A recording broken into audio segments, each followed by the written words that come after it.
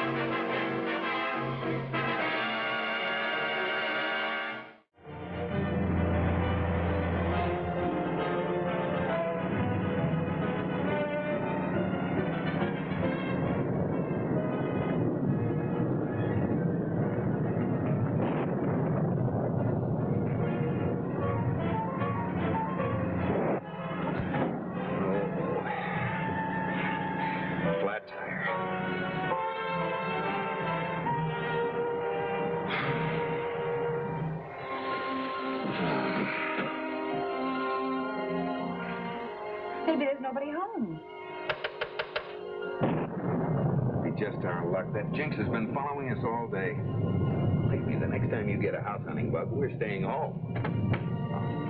Say, we better call Bill Weigand and tell him we'll be late for dinner. What is Well, I'm sorry to bother you, but we've just had a flat tire and we need a jack. Uh, could you lend us one? We haven't got a jack. Well, could we use your phone? We have an important engagement in town. We haven't got a telephone. Nice hospitable people. Yeah. Well, maybe there's another house further down the road.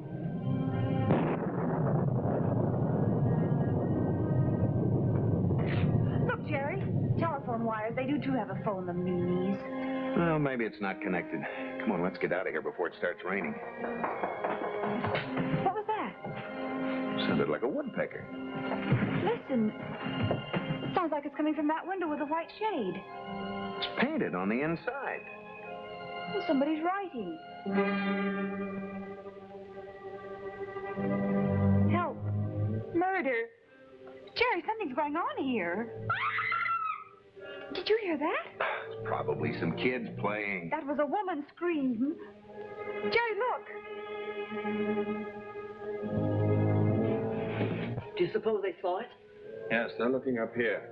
We better find out what it means. Now let's just keep out of it. Come on. They may notify the police. I can explain it to the police. Don't make another sound.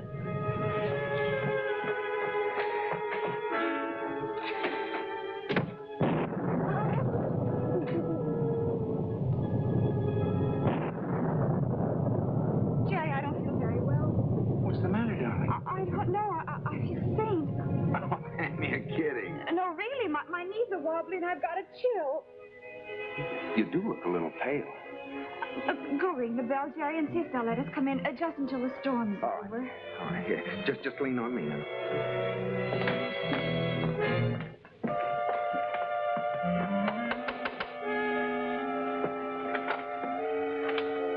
Uh, my wife isn't feeling well. I, I wonder if we, she could come inside and rest for a while. I'm sorry, we can't take in strangers. Let them in, Ada.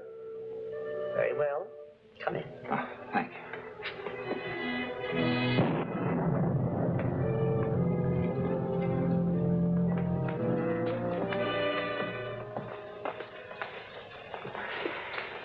Gee, I hope you're not getting one of your bad colds.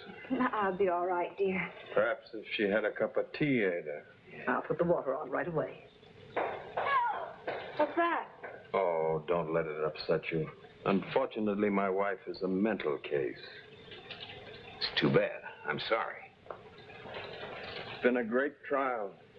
We're trying to avoid sending her to an institution. She has hallucinations, persecution mania.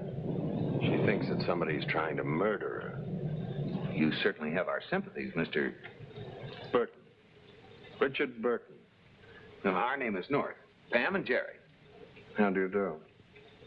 I hope you're feeling better, Mrs. North. Oh, I will be if I can get a little rest.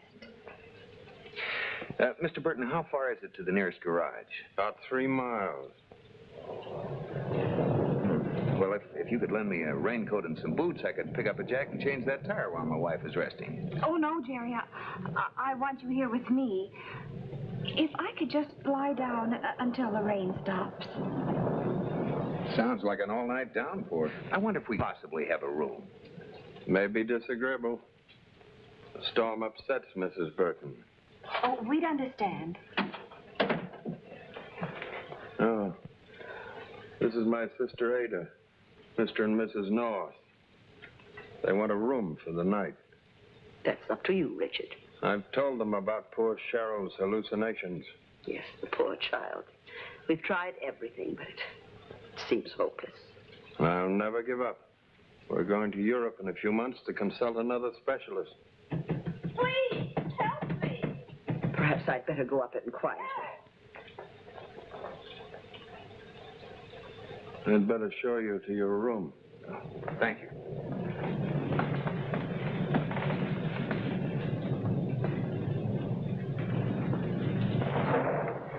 We certainly appreciate your kindness.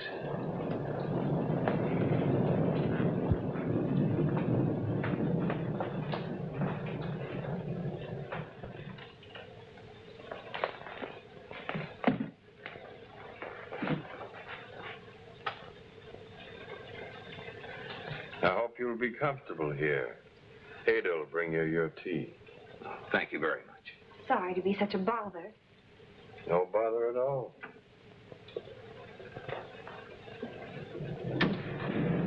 Are you all right, darling? Yes, don't look so worried. I just wanted to look the place over. Pam, you're scared the wits out of me. They're a weird pair, aren't they? Hmm. This house. Anything could happen in a place like this, including murder. Yeah, As long as it isn't ours. Lock the door. There's no key in it. Fine thing. Open it. I bet he's outside in the hall listening. Oh, you and your imagination. Oh, it seemed a little stuffy in here. I thought we'd get some air. Of course. Here's your tea. I brought up some sandwiches. I thought you might be hungry. Oh, that's very thoughtful of you. Here, I'll take it. Thank you very much. Yeah. Good night. Good night.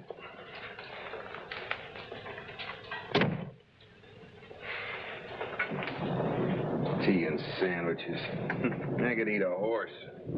You don't think I'm going to drink that, do you?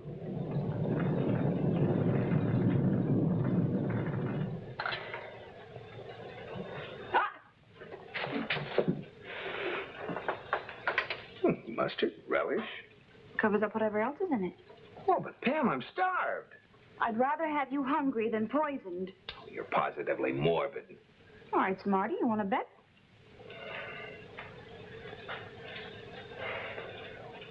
Yeah, it'll be all right if we just relax and mind our own business. You know, the best thing we can do is get some sleep. this bed's a real old-fashioned McCoy. Oh, and am I bushed. Oh, don't undress. Just lie down as you are. Now, next girl I marry is going to have no imagination, so help me, Hannah. What are you going to do about the door? Oh, just put a chair under the knob.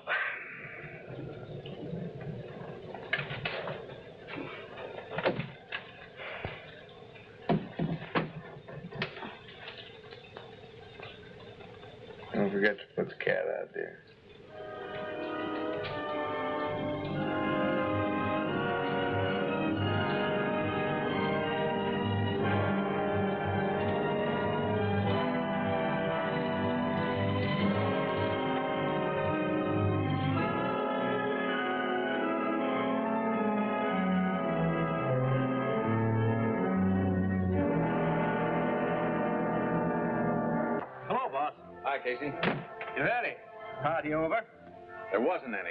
Didn't show up.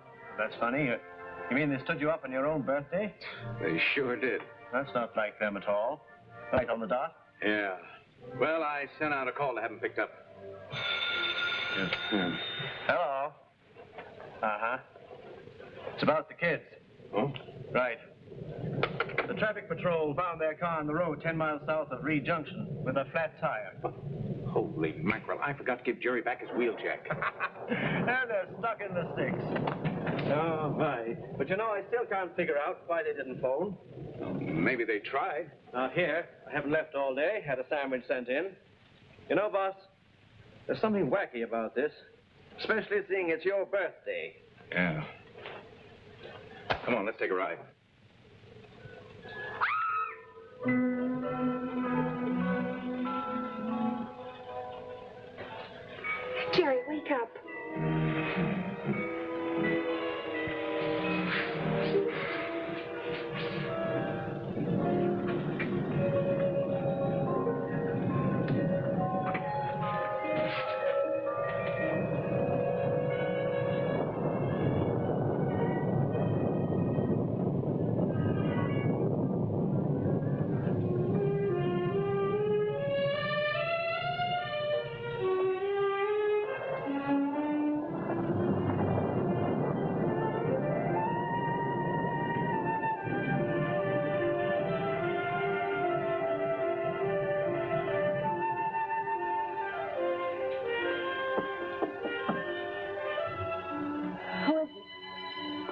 Mrs. North.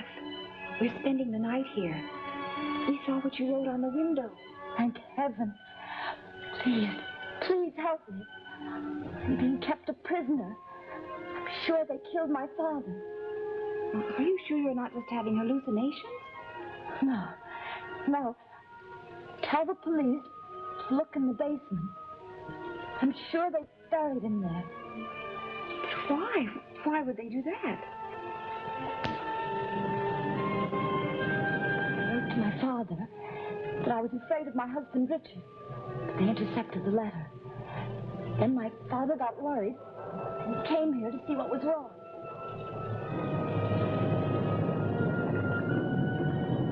Go on, I'm listening.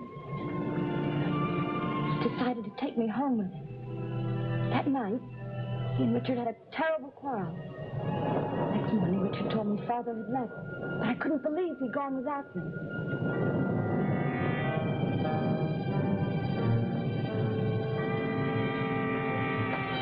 Coming into my grandfather's estate in a few weeks. I know Richard would do anything to keep me here. Trying to prove I'm crazy. I went down to the basement. Saw the first cement. I accused them of killing my father. That's when they said I was crazy and locked me in. I know they're planning to kill me just as soon as I get control of the money. Please help me. We'll do everything we can. Be careful. They find out you talk to me.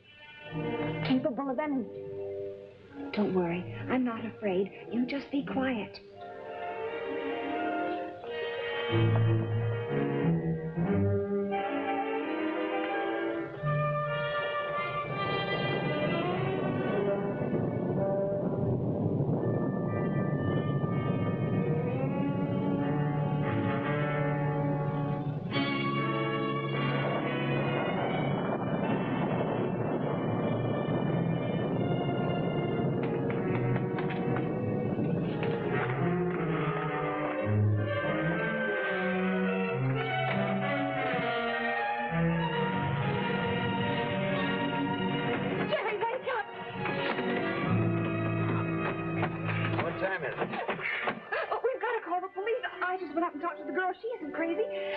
Killed her father and buried him in the basement. What? And I suppose she said she was coming into an estate pretty soon. Yes, she did. Her grandfather. She's crazy, all right. I've used it in a dozen books. Her husband saw me up there and chased me down. He almost got me, too. Sam, are you making this up? He was just rattling at the door. It sounds like they're all crazy around here. Let's just get out of here. Cheryl told her all about the basement. But the tea, I used They probably didn't drink it. I don't believe she was ill at all. It was just a ruse to get in. and we fell for it. Not exactly. It's just as well they're here. They mustn't leave this house. What about their car? We'll use it. You better go downstairs and start digging in the basement. How are you going to get rid of it? Never mind. I'll attend to that. We'll pack and then we'll get away even before anyone connects them with this house.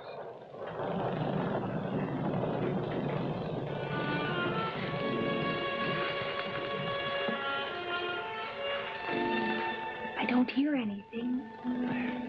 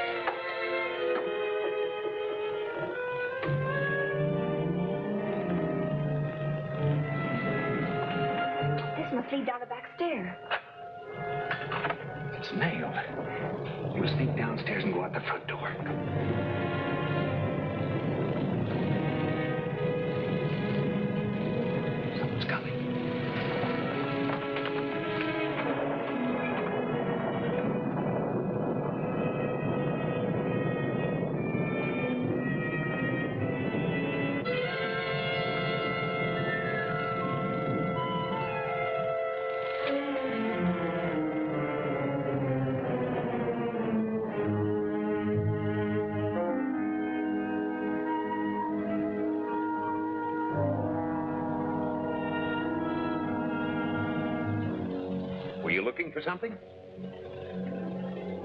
I came up for the tray. But you came in without knocking. I don't like strangers prowling around the house and meddling in things which are none of their concern. That means you have something to hide. That's none of your business.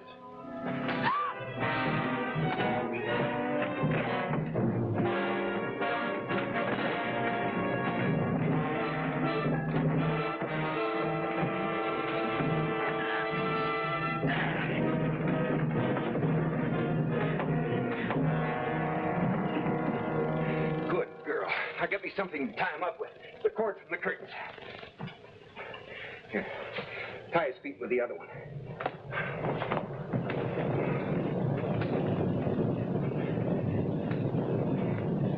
Here.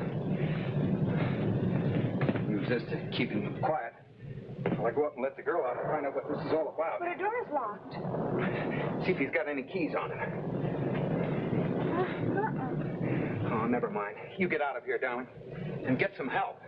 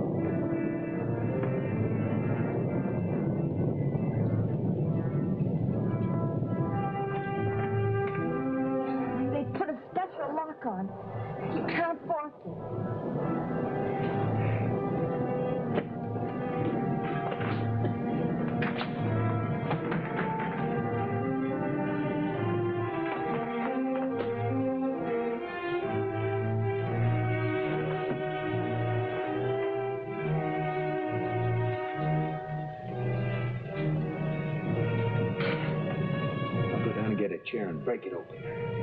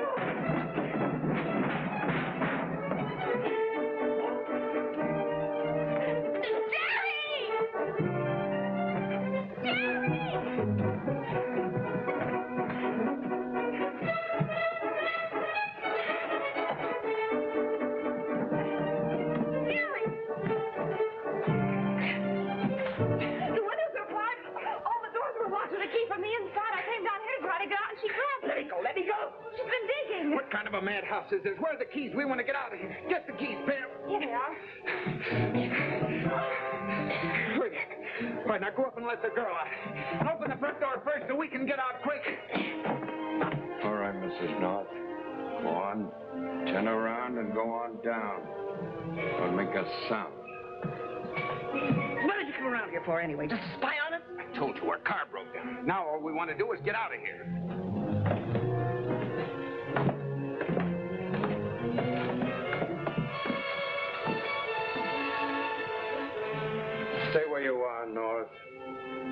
Got the point of this knife right between her shoulder blades.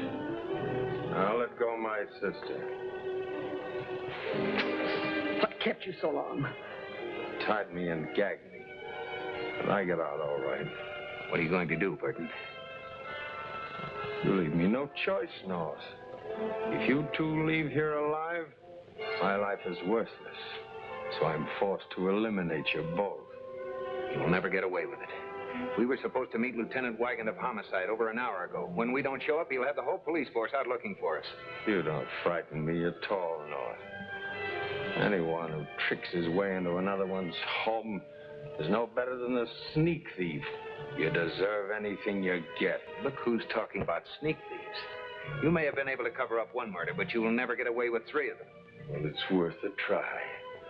There's over a million dollars involved in this, and nobody is gonna trick me out of it at this stage of the game. Don't, Jerry. It's either your lives or ours. For the fittest, that's my philosophy. You'll get your reward later on. I want mine here and now. You'll get it, too. In the chair, I hope. You hope. I act. That's the difference between us.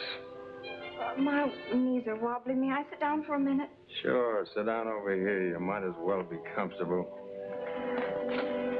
She's real pretty, North. It's too bad she's curious. I wouldn't trade places with you even now, Burton. Oh, Jerry. Stay where you are, North.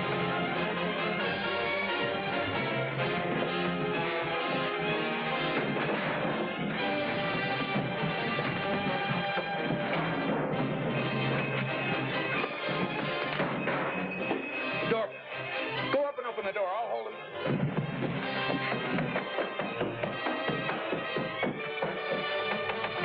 Anybody home? Bill, it's Pam. I'm trying to find the right key.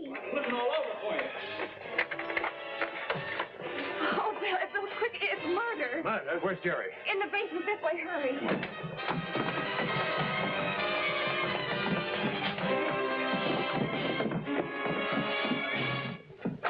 What is this, an election bet? There are a couple of killers. Sure caught yourself a big one this time, kid. Oh, it was Pam. She landed him. Huh? Come on out of this with your fins up. Come on now. You can't arrest me without a warrant. I can't, can't I? No. Go ahead and sue. Well, Who's this one? The mate to the one you were sitting on? It's his sister. Oh, what a pair. There's a man buried there. It's his father-in-law. Go call the sheriff on the two-way, Casey. Come on, let's go. look out! All right, I'll Holy smokes, how do you two kids get into these things? Well, it was sort of an accident. Next time you borrow a jack, don't forget to return it. I know, I know. Don't rub it in. Hmm. Well, what's the story? Well, there's a girl locked in upstairs. She'll give you all the answers. A girl. His wife.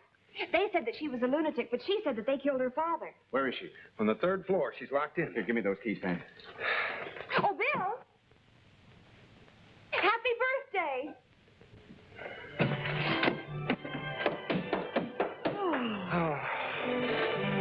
A close call, darling. You were lucky to get out of this one. That isn't the only way we were lucky. Okay, all right. How else? Well, with all that rain and the storm and the flat tire, we didn't even get our feet wet.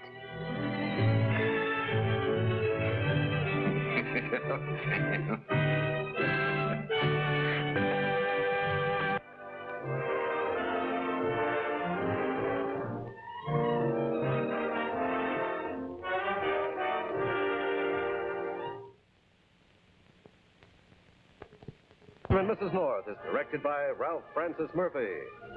A John W. Loveton production. Produced by Federal Telefilms. Starring Barbara Britton and Richard Denning, featuring Francis De Sales.